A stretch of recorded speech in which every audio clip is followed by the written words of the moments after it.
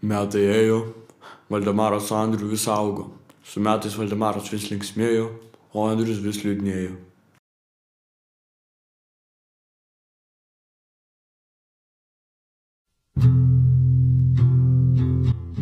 Kiekviena diena Andriui tapo kančia ir tik miegodamas jis galėjo atsiriboti nuo realybės.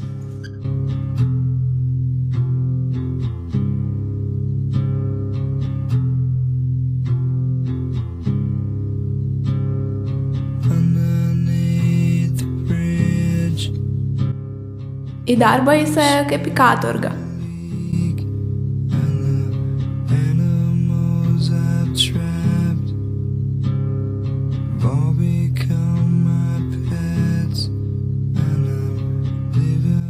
Kiekviena Andriaus diena buvo vienoda - namai, darbas, namai.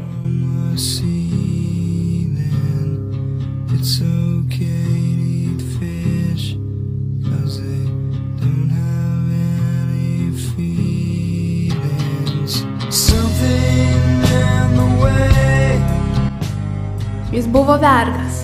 Darbo vergas. Andriui nesisekė darbas, nes jis jo nemėgo.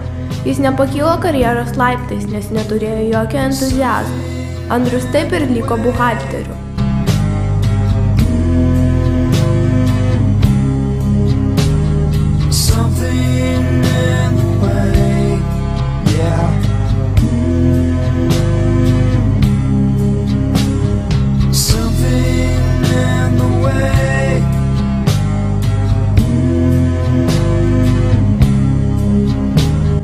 Andrius taip įsitraukė į rutiną, jog jam nebuvo skirtumo tarp namų ir darbo.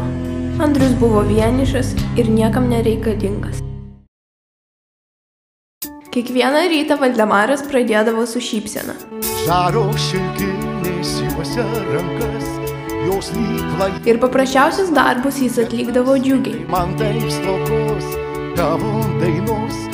Gal jas sparnai sutemų atkartos, bet daina nebe ta, kai žemė tamsu, išvelni bet šalta, todėl neramu, kad naktis taip ilga, ilga ir juoda, man dar ilgiau, kai tavęs nėra šalia. Tad saulė paskleiski man savo šilumą, savo juodą vėl, švieski man vėl, sušildyk juostai.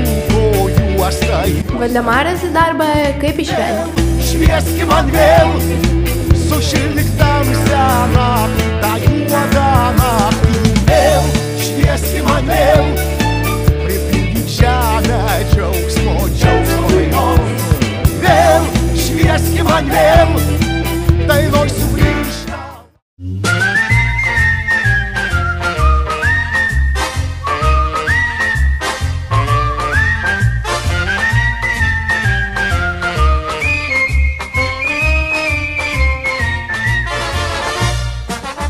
Valdemaras, kaip ir planavo, tapo gatvių valytoju.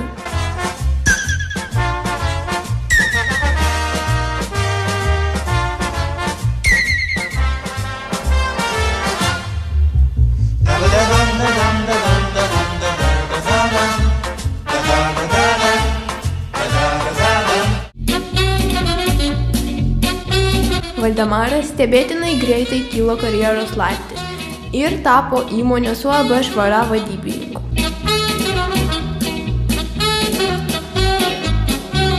Laisvalaikiu Valdemaras, rodydamas pavyzdį darbininkams, valė gatves.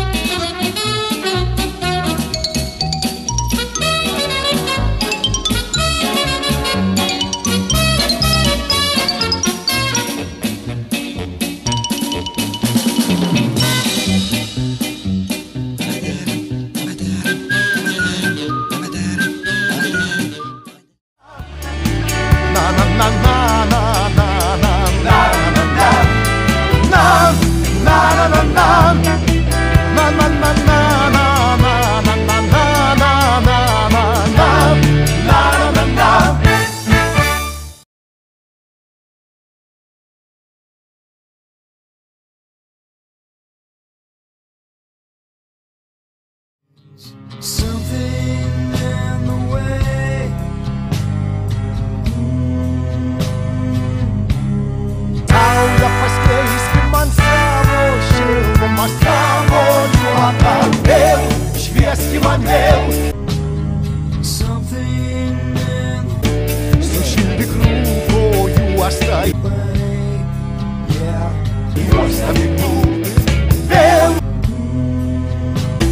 Švieski man vėl.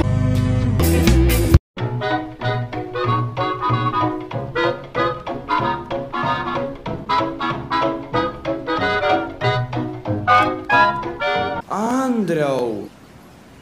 Valdemarai?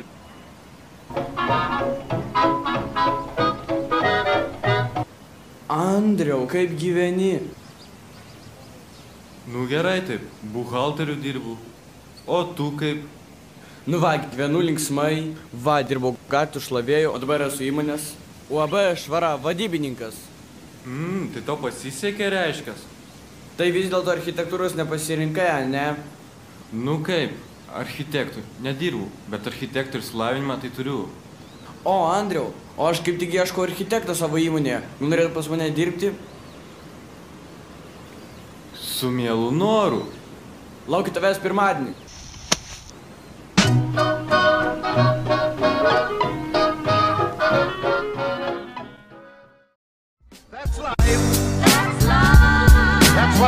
People say.